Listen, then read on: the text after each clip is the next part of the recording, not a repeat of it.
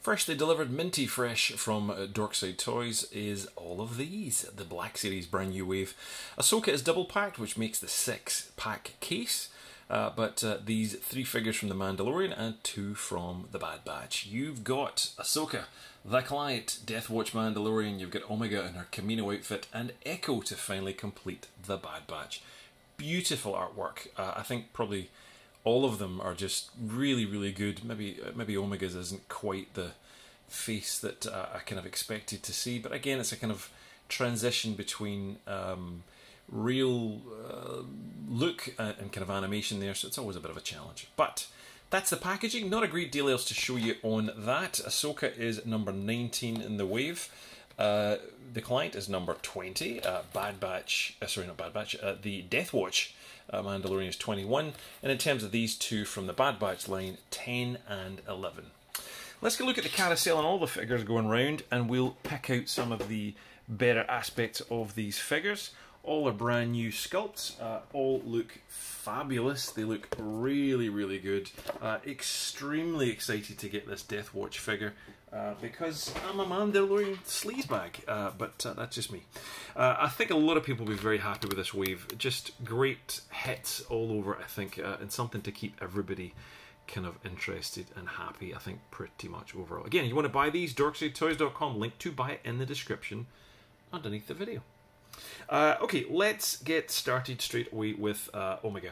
I have to say I am not a fan of this figure. Uh, nothing wrong with her. Uh, and I should mention before start, every figure is in the 6 inch scale, or about 15 centimeters, every one of them. Uh, Omega comes in at about, what are we talking there, uh, 4.5 inches or about 11 centimeters. So she is just that little bit smaller than the others. She comes with uh, a breathing mask and her kind of bow. Um, it, it's a slightly odd weapon that just looks kind of ridiculous. I don't know quite what the issue is here, why it's just so ridiculously big.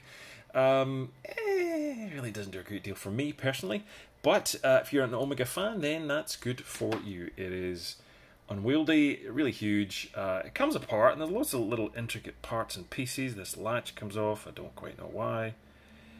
I don't know. Uh, leave it in the comments. Tell us what you think. But um, maybe you can fold it down or something, and you can kind of no, because that's plugged. Yeah, I'm just not a fan of this thing. It's just too ridiculous. It's just really. It's not Hasbro's fault in any way. I should add. Uh, it's just I think a, a very awkwardly weird design um, by the animation team, and it just does nothing for me. Uh, she comes with a little weirdy pangolin uh, like friend. Uh, very cutesy with the big eyes there, the kind of Elvis quiff going on. Was that its nose? uh, I think it's its nose.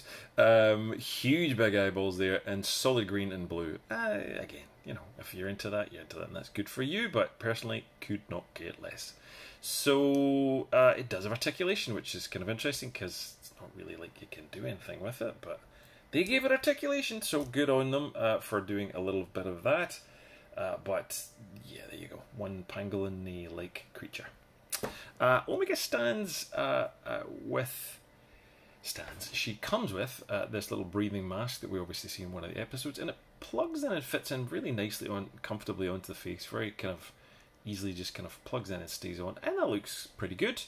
Um, we've got a nice enough facial sculpt here it just wouldn't be remiss on. Um, I've got a couple of uh, really nice friends and neighbours that are, are um, a couple of little girls that would just adore this figure. I think, you know, seeing this brave, young, strong woman, blah, blah, blah, in front of her, and that's wonderful. I absolutely fully support that. But personally, I just, I mean, again, I'm a grown ass man, so doesn't do anything for me. I think potentially this body will be reused for um, a young. Um, Jango on Kamino or some other Kamino type uh, um, trainees, etc. In the kind of you know we saw in the the Clone Wars. I, I don't know. It, it's a solid enough figure and all pretty basic standard uh, articulation. There's nothing really unusual. Ankles, knees, single joints at the knees, single joints at the elbows, swivel wrist, swivel waist, ball joint on the head, and we've got a neck joint too. Ah, she's she's alright. If you like her, you like her. If you don't, not for me though. Uh, let's move on to the client, and he comes with his little uh, fob, which I think we've seen before in the 6 inch version. Uh, Yep, little key fob. Odd device to track somebody down. Don't know quite what's going on in that, but alright. He comes with also his little medallion there uh, around his neck. Uh, Werner Herzog. Wasn't it Werner Herzog? Can't remember his name. Uh, anyway, uh, amazing director, actor uh, of, of many, many years, and um, it was a great part for him to take in the show, and it stands out really well here. Uh, the, the design of the character still looks really good. It works well. It's a shame we didn't get to see more of him. Kind of standard Star Warsy space belt, so a very generic body that may be reused, maybe not. Uh, but there we go. So, uh, and his coat looks good. It's some really nice, get some Indiana Jones vibe off that um, in some ways. And yeah, there you go. I love the fact that they've added a little weathering this to make it leathery. They didn't need to bother, but they did. It's very leather looking, I have to say. Absolutely solid. Now he comes with his little uh, washing machine part, uh, which when you pop it open, if I can get it open, inside you will see is some Beskar. Two little clumps, whoops, uh, two little clumps of Beskar uh, with a tiny, teeny, weeny little Imperial stamp on there. So that looks pretty good. And again, they can be stored in there, uh, and I think all of the sides and parts open up, or two of them do. One of them does. Two of them do. All of them do. What am I talking about? So there we go. Yeah, he comes with that. Eh, you know, again, if you're really into that. Werner is pretty well articulated. Ball joint on the head, on the neck, all standard stuff you'd expect to see. Single joints on him, uh, but it's still a good range on that, considering the figure is wearing a kind of long coat. But beautifully painted, beautifully sculpted. Just not the most exciting figure for me, and I'm sure others. But other than that, standard stuff. Single joints at the knees, kind of Corellian type boots, uh, rocking ankles, pickles. That's the client. Ahsoka, again, one of the most popular figures out there. Stunning Rosario Dawson uh, facial sculpt. Just those eyes around there. Just, you will watch me in Marvel series and then in Star Wars and everywhere in great movies. Anyway, she's um, a wonderful actress, a beautiful woman, and she's really, really well captured here in toy form.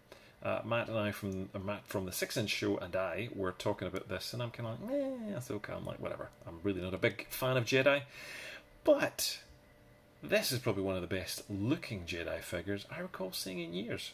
We still do have a little bit of that shiny effect going on on the face, a little bit sweaty-ish looking overall. That is really something I think uh, we've already raised this directly to Hasbro uh, in several Q and A's with them, and I think it's it's more just a challenge of paint ABS plastic and the type of way they sculpt, but hopefully they can. If they could nail that as well, they have everything in place. They really do. The Leku um, are looking really fleshy and real, nicely done. It's got really nice kind of high details like Ahsoka, and it's just beautifully done. You can see that kind of again really shiny-ish, not quite right fleshy color, but it's beautifully done. Lots of little threads tied at the back, mishmash cross on there, and there's a lovely bluey silver uh, grey um, colour on several of our parts and pieces there, and down to the lightsabers. The two distinct hilts, obviously. Little clips, but there's nowhere to clip them. Well, kind of is actually, really, technically. Uh, I wonder if that will work. Uh, you probably could actually. Let me just see this here. So if we yeah, it'll, it'll kind of work. There you go. Sweet. You can have your uh, lightsabers pinned to the side. I didn't realize that until looking at it. They're just so small. But they've added them, which is a really, really nice touch. Uh, they'll likely fall off in certain poses, but uh, with a little bit of fudging and fixing around and uh, putting them in the right way, um, when a leg's not bent, they will stay, I think. Just. They're just staying in no more. Anyway, nice little subtle touch in there. Ahsoka is looking very good indeed. Uh, despite the Leku, she has quite a bit of range and flexibility in the head uh, and in the neck. She's got a little kind of neck collar piece, kind of reminiscent of uh, Han Solo uh, Stormtrooper outfit. Uh, nice little butterfly joint-ish on the arms. Uh, single joint at the elbows, but it's nice and high, so there's plenty of range of motion for getting good lightsaber poses. Um, is that a single joint? yeah, it's a single joint, but it's a nice joint, very well done. a nice joint. Uh, we've got wrist swivel back and forth. You've got uh, upper uh, waist crunch, which is cool. Leg standard stuff uh, up at the top. These pegs swivel on the thighs down to the MC Hammer pants there, uh, which give you a big, huge single joint. Uh, and then I don't think there's a boot cut. Nope, rocking ankles, pegals. So there we go. Ahsoka is looking badass. Really, really strong figure in the wave. Definitely one I think a lot of people want. That's why she's double packed. Uh, we're looking at Echo next, uh, and he is really, really pretty cool, has to be said. I'm very chuffed with him. And um, he uh, comes in the most vitamin D deficient skin tone I think I've ever seen, uh, but um, that's the way it goes. So he's just so, so white pale. I mean, I know he was pale in the show, but it just, yeah. Anyway, um, incredible cheekbones, lots of detail on him. Uh, got all the kind of uh, little details there. Very Lobot looking kind of face in some ways.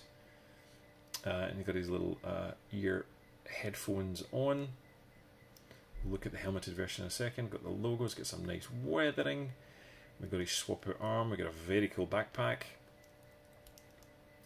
Wiggling off. Two antennas. Very nicely done indeed. Great to finally finish the Bad Batch. We get uh, a couple of different pistols. You've seen these before many times on clones. And they slot into his kind of uh, ARC Trooper-like um, camo and um, we have this kind of I don't know this ammo pouch or something on this side here. It doesn't move, doesn't do anything, but it's looks cool. Uh, we get a swap out hand here, so you can have his uh, utility screwdriver hand here uh, for dialing into uh, like a droid, I guess, essentially. Uh, on, on, a kind of unusual joint, we don't get to see things like that very often, uh, and I tend to kind of prefer that look overall, just having him like that because um, this other appendage that comes with them is friggin' huge. It is absolutely massive. Um, eh, I don't know. I don't know. It doesn't work for me. But you can just simply jack that in there and it doesn't really go any further. Uh, and you just have this ridiculously long hand. So if we have a look, and we'll take the Mando Death Watch who we're saving for last because he's awesome, uh, onto the stand, you'll see what I mean, I think, essentially he is really quite um, it's just huge. It feels really really too big i think personally speaking. Um, yeah. Anyway uh, it, it is what it is. That's what you get. You get that option there. You can unplug that if you would so like. Uh, let me take the helmet off here out of his hands. We'll go back down to one times and we'll just pop this on. So helmet time. Bit of fudging around uh, you've got a kind of there's a split at the back as you'll see the little peg. Um, futs around futs around. Uh, get that round there get that under there. And as you can see kind of get it underneath. Clip it on tidy it up. You get the point. You can faff around a little bit more. But there we go.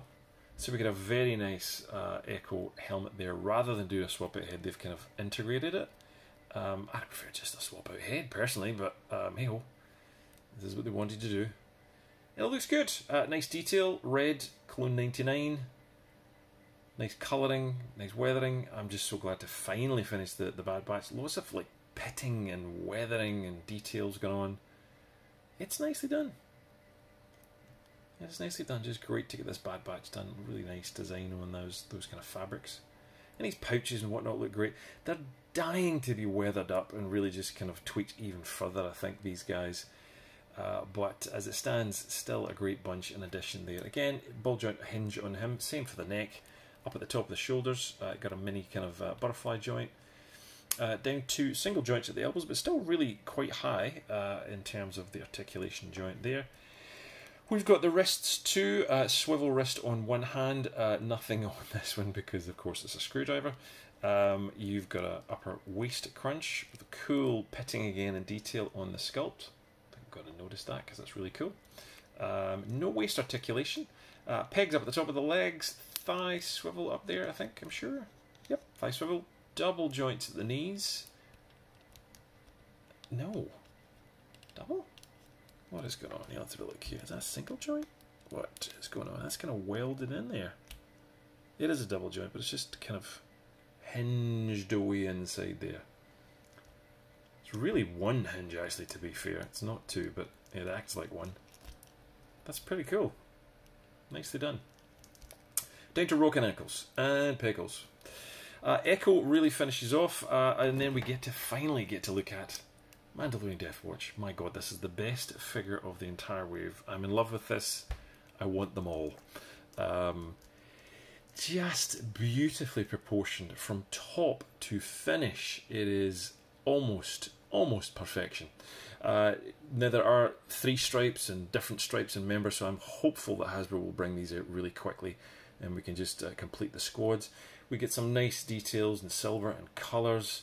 Uh, the fabric looks good. Um, everything looks good on this figure. The weathering's just enough, just light. The helmet looks great. Rangefinder works great. Uh, great looking backpack. Uh, pretty much the same as before, I think, as we've had on a Jango or others at some point, I'm sure. 99% sure. Um, no removable rocket, etc. But it does look good. Plugs in very nicely into the back into the three-hold system. Articulation is great considering they've got this armour. There's lots of removable flaps. It's always about the flaps. Uh, even down to the knees down there, you've got uh, these kind of uh, pieces that move around. They're not fixed or sculpted into the knee, which gives you added posability. Whoops, his backpack fell off. Uh, like that. So uh, even if you wanted to, you could nudge it down a bit more. Like that. See my point? That's nice. That's clever. Really, really nicely done. So they've done a really good job on the figure in terms of the sculpt. So much so that now I can't fix it and correct it. There we go. Uh, so there's lots of uh, flexibility in the figure. We've got a working holster at the back for a tiny little Mandalorian pistol, looking great, wooden handle. We've got a weapon here with a kind of holster, which is fine. He can hold that pretty well. Um, the challenge here is this hand, and I'll show you very quickly um, if we pop that blaster, which does fit well uh, because it allows that finger slot to really just perfecto, that works. Uh, and again, that can go into the working holster on the back.